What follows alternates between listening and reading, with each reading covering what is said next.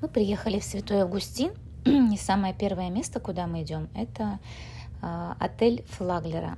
Генри Флаглер построил три отеля в Святом Августине, чтобы сюда приезжали, отдыхали.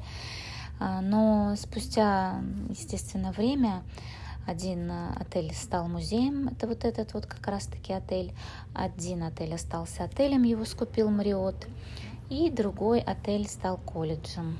Ну вот мы заходим внутрь.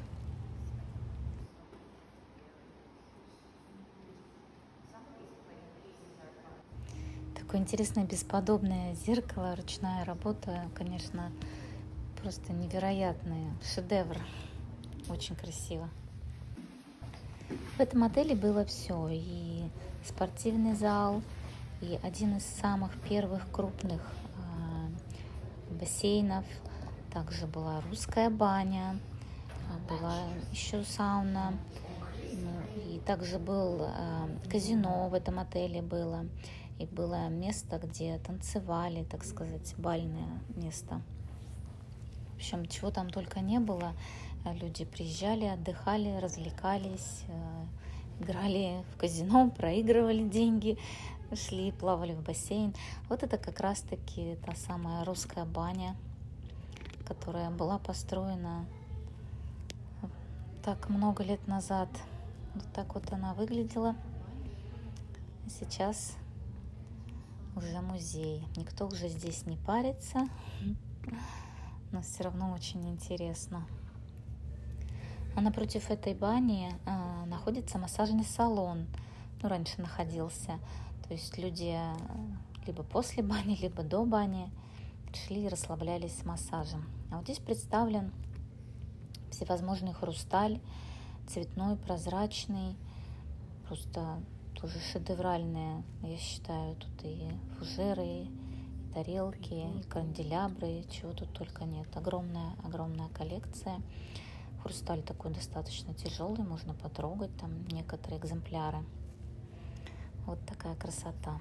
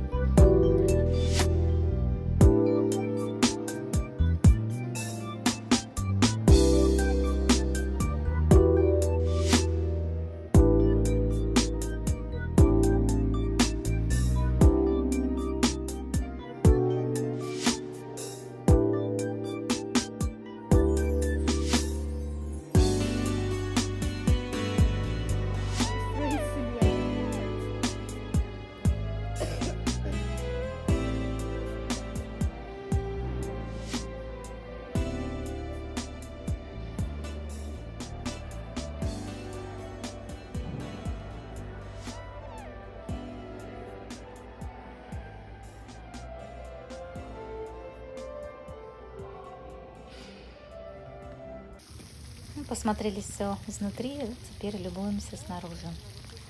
Тоже очень красиво. А это вот другой отель Флаглера, который перекупил Мариот, и он до сих пор остается отелем. Чтобы переночевать в нем, нужно заплатить 500 долларов за одну ночь. И это еще, я думаю, не самые дорогие апартаменты. Ну и мы добрались до третьего отеля, который сейчас колледж. В нем учатся вот такой вот колледж Флаглера. Вот это сам Флаглер.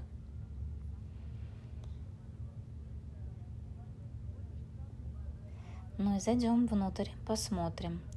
Можно зайти, посмотреть, как там происходит обучение. Место, конечно, очень такое магическое, потому что много истории. И учитывая, что это был все-таки один из самых шикарных, дорогих отелей, который Флаглер построил вообще.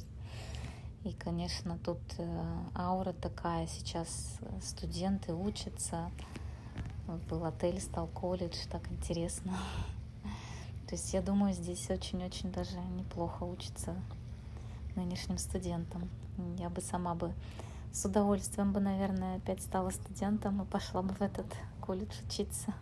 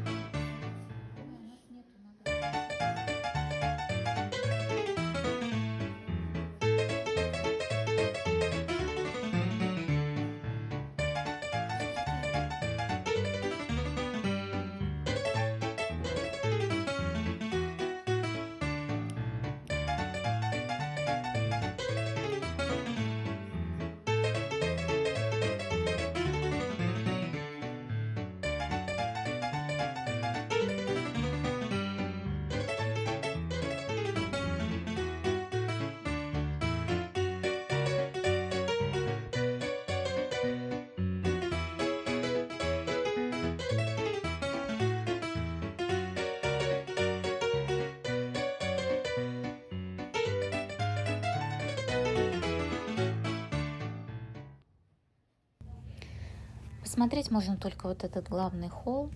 Наверх нельзя подниматься.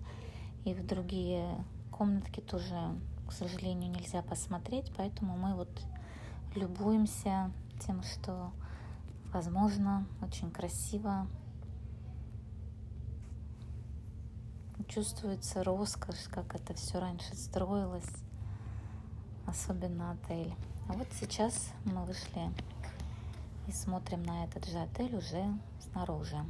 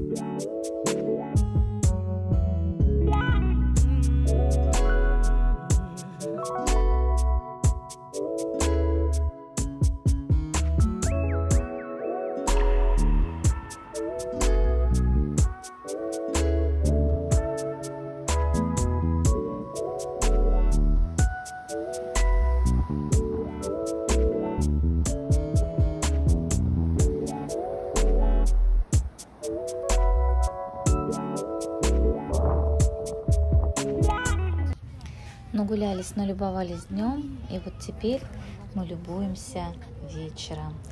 Вечером Святой Августин преображается, прям нечто волшебное, магическое, бесподобное. Каждый домик, каждое здание украшено вообще гирляндами, огоньками. Это что-то волшебное, невероятное. Главная площадь, деревья такие красивые. Конечно, одно удовольствие гулять, очень много туристов. Где-то около двух, два, двух миллионов да, туристов ежегодно посещают Святой Августин. И, конечно, народу очень много. И вот э, Крисмас, Новый год, самые такие волшебные как раз-таки периоды, когда хочется вот попасть в эту сказку, в эту красоту и любоваться, любоваться просто бесконечно.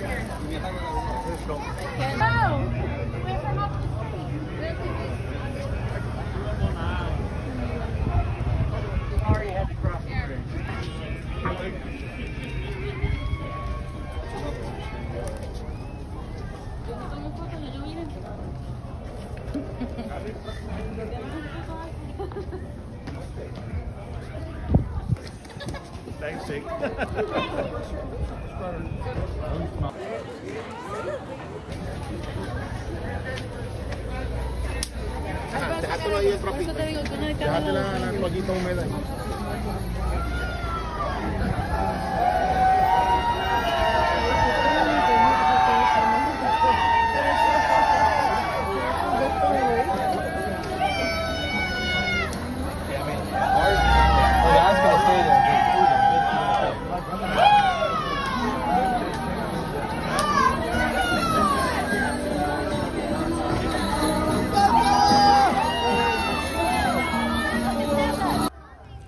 Даже вот такие домики есть против демократов. А это вот мы зашли в местный магазинчик, уж очень он привлек внимание. Чего тут только нету. Тут и пиратская тема, и для Хэллоуина тема. Интересные тоже и посуда даже есть, и вот это бутылочки, и часы, и очки. Очень такой интересный, необычный магазин. Ну, а следующее наше место посещения – это маяк. Мы также его решили посетить вечером, чтобы посмотреть, как все здесь э, на Рождество, и также вот все здания, какие они, где проживал рабочий персонал. Ну и, конечно, сам маяк, и сверху маяка очень интересно все увидеть. Но здесь мы тоже видим елочки просто везде, в каждой комнатке поставлены красивые елочки. Вот это вот ведро с нефтью. Э, с этим ведром поднимались на самый верх. Оно достаточно тяжелое, два раза в день. Так вот, такая история. Вообще у маяка тоже очень много интересного всего связанного. Тут и кошку с маяка с парашютом сверху запускали. Было много интересных историй связанных с маяком. Ну и, конечно, самая главная его функция.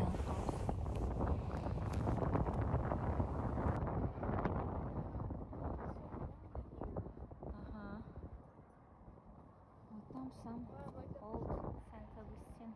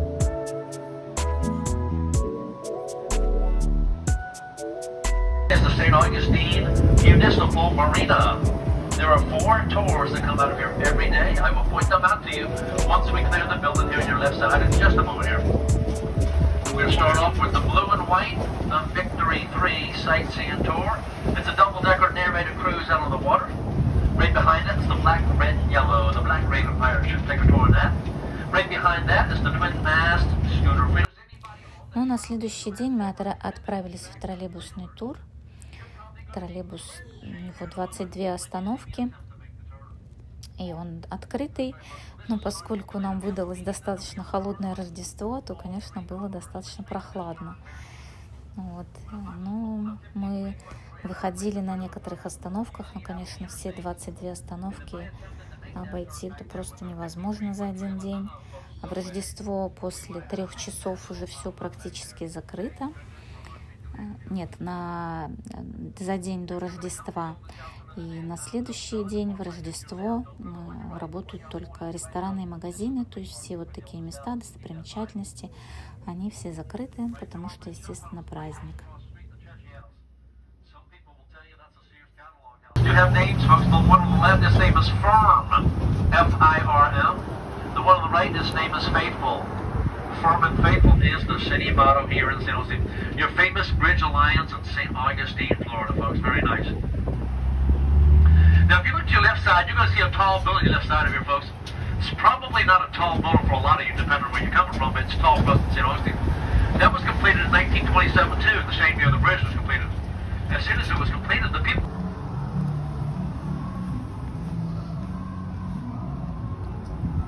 Форт. Сначала был деревянный, его сожгли, потом построили каменный. А мы идем в пиратский музей.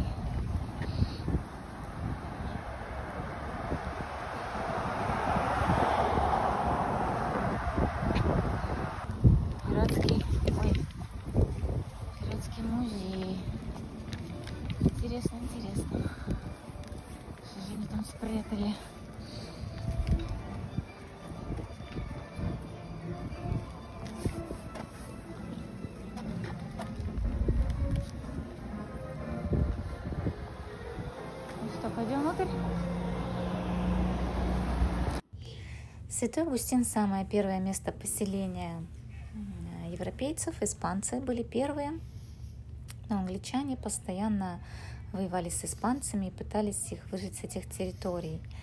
И э, из Англии пираты, ну, не только из Англии, в общем, пираты постоянно наведывали Святой Августин, творили всякие бесчинства, грабили, сжигали.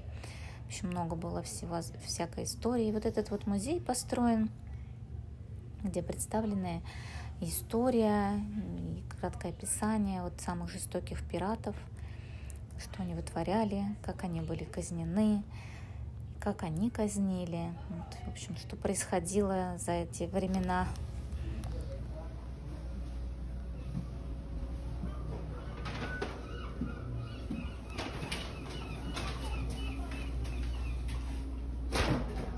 She was flying the chariot. Brave men and won. The flag a skeleton, stabbed with bloody. That was a warning. Aye, when the Queen Anne was stuck, the golden age of piracy was soon to see her last dive. Well, you best keep moving on.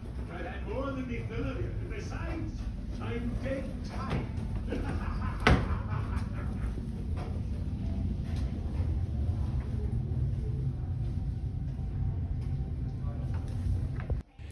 вот это совершенно неподъемные сундуки, где пираты хранили, да, а потом, естественно, закапывали, прятали сокровища, золото, всевозможные драгоценности.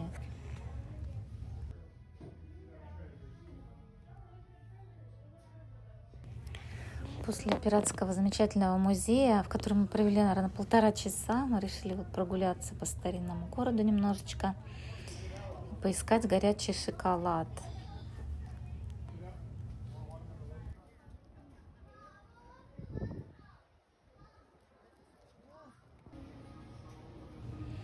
Вот оно, замечательное это место, где можно купить всевозможный шоколад, яблоки в шоколаде, всякие сладости, ну и, конечно же, сам горячий шоколад, что, собственно говоря, мы и сделали. Пьем горячий шоколад.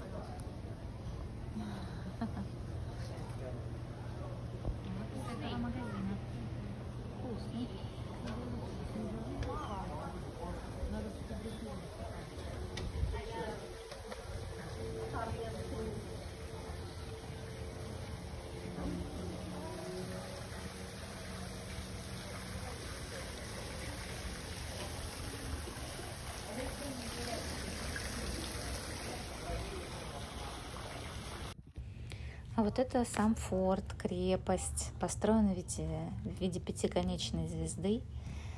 То есть я, я такой форт видела не только здесь, вот именно как пятиконечная звезда, они достаточно похожие и в Европе есть. Да, ну вот у нас, нас наш первый завоеватель, ну, точнее уже не первый, а, не знаю, миллион первый, пытается покорить форт.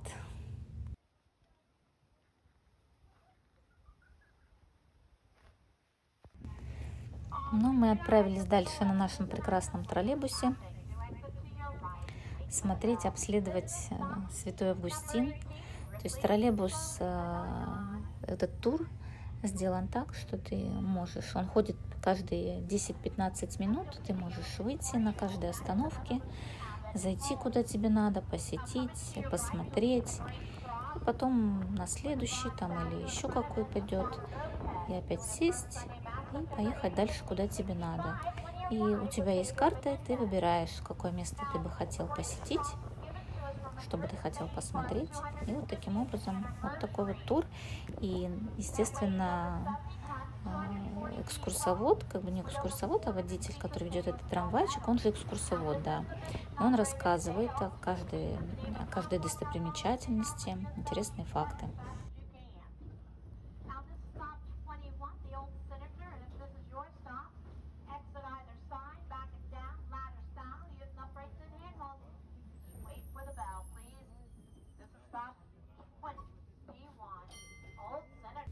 Ну, у нас на сегодня вот последняя остановка, то, что мы успеваем посмотреть, это вот такое первое место а, поселения э, испанцев. То есть вот именно здесь они обосновались, они здесь жили, осваивали территории. И здесь также находится, называется, вот это, как уже такое место-музей, как фонтан молодости. То есть был здесь такой источник – из которого пили воду. Ну и вот сейчас он называется фонтан молодости.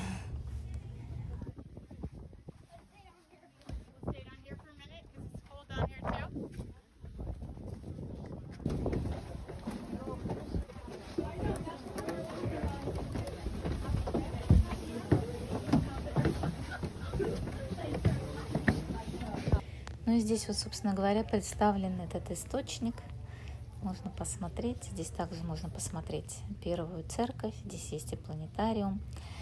Но у меня заканчивается батарейка, и, собственно говоря, рассказ на сегодня тоже заканчивается. Очень хочу вернуться